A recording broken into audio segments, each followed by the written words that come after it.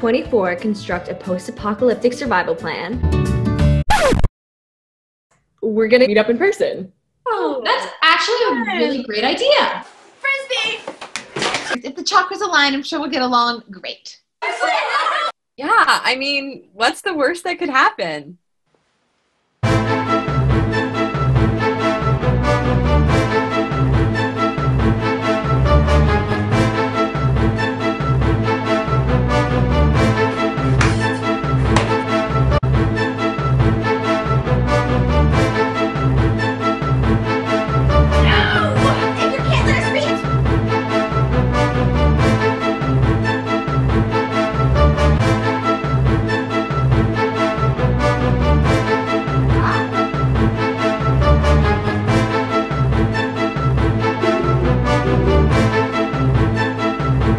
Pardon my sanity in a world insane.